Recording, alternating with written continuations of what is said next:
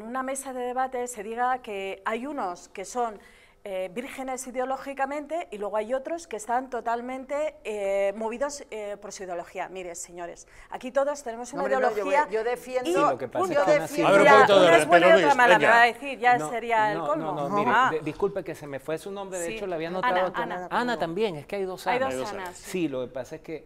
eh, ¿Y usted tiene relación con el PSOE o con el.? Es indiferente. Es o sea, indifer- ok, está pero bien, Le pero- puedo decir pero que lo- sí lo que le quiero decir- no- lo que le quiero decir, no, estamos para decir un posicionamiento político, estamos diciendo aquí para defender unas ideas. Lo que pasa es que, cada sí, uno lo que podamos pasa de- es que hay ideas, defenderlo. mire, lo que pasa es que las ideas no son buenas por ser ideas. Las ideas son buenas si funcionan o no. La ideología de la izquierda apesta, no funciona. Donde la han querido poner no ha funcionado. Creo que la señora. Ana, vamos a decir Ana 1 que habló primero y Ana 2. Jiménez es una, pero no me acuerdo cuál es. Velasco. Ajá, la señora No, Ana. Velasco decía que no pueden reducir impuestos. No pueden reducir impuestos porque entonces van a renunciar a su naturaleza de lo que ellos son. De hecho, y entonces por allá la señora Ana Jiménez dice, es que hay que darle de comer. No, mire, a la gente se le da de comer es con trabajo. ¿Ok? Si usted reduce impuestos, lo que va a suceder inmediatamente es que el empresario va a tener más dinero para emplear. No, mire, usted puede decir que no, pero dos mil años y más de historia humana ratifican que lo que yo estoy diciendo es una verdad como la Catedral de la Almudena. ¿Ok? Entonces fíjese, sí, por cierto, Almudena como tú. Si usted reduce impuestos, lo que sabe quiénes van a quedar desempleados, los políticos. Esos sí van a quedar desempleados.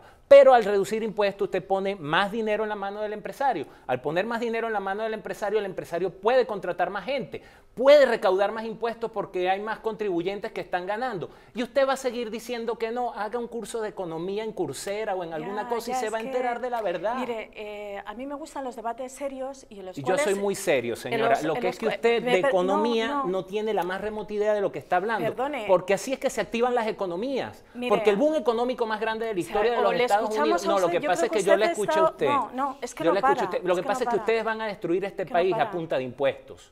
¿Ok? Cuando ustedes van a destruir este país. Bueno, pero es que, es que usted me interrumpió.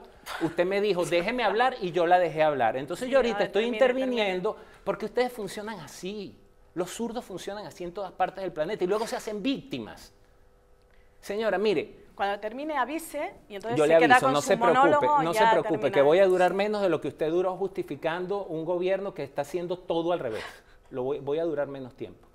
Le reitero, cuando usted disminuye impuestos, usted incentiva la economía, pone más circulante en la calle, Ya lo he dicho. pone más gente a trabajar. Sí, pero se lo reitero porque creo que no le Ya, quedó claro. que- Pone más circulante en la calle, pone más gente a trabajar y aumenta, por otro lado, no con, no con montos, sino con volumen de contribuyentes, aumenta y mejora la recaudación.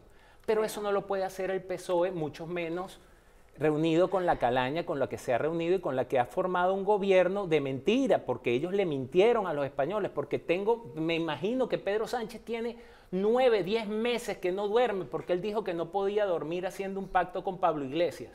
Debe estar tomando algún tipo de metanfetamina para mantenerse despierto. Porque él lo juró en cámaras de televisión española que él no se iba a juntar con Pablo Iglesias y con los comunistas. Y lo hizo. Es un mentiroso.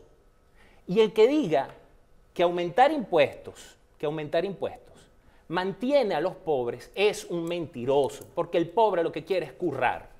Y el pobre lo que necesita para llevar pan a la mesa de su casa es currar. Y están haciendo todo lo contrario. Se lo dije en mi primera intervención. En lo único que van a incluir a todos los españoles es en el paro, que ya de paso es una política fracasada y obsoleta.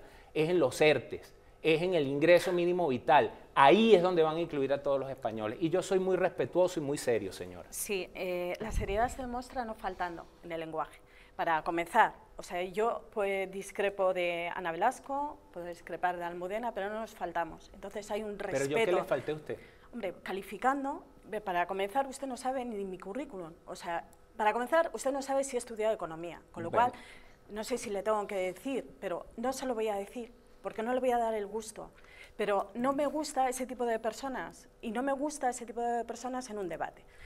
Eh, para pasa es que comenzar que, diga, ya, pero le he escuchado, le he escuchado, así que por favor, mantenga la calma, porque esto es un debate. Entonces, yo no sé a qué tipo de debate se está acostumbrado, si se tiran las sillas o se increpan, pero no, no, es, no es este el caso. Y tampoco es mi manera de debatir. que diga usted que 2.000 años de historia, no hay 2.000 años de. Hay muchas escuelas de economía, muchas, hasta llegar a la actual. ¿De cuál Desde, de, de, hecho, ¿De Frankfurt? bueno, sí, me, me permite, de Adelante. verdad, que es muy, muy, muy, muy difícil poder hablar con tanta interrupción. El primer país en el que eh, introdujo los beneficios sociales, a lo mejor la alarma, pero fue Estados Unidos, fue Estados Unidos. Y después de la Segunda Guerra Mundial, y con una tasa impositiva del 60%.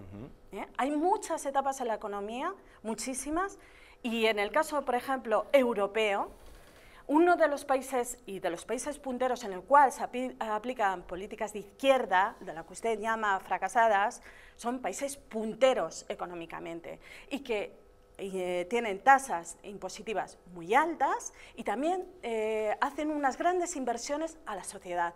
Porque una sociedad también cuando inviertes en ella y posibilitas que haya movimiento, igualdad, haces que las personas que tengan un poder creativo, aunque nazcan en una familia pobre, puedan desarrollarse porque pueden tener un talento inmenso para una ingeniería y luego se repercuta a la sociedad, haces que una sociedad sea más rica. Eso en y le España digo, por ocurre, ¿eh? ejemplo, en los países Eso en nórdicos. España ocurre. Y eso, y eso pasa.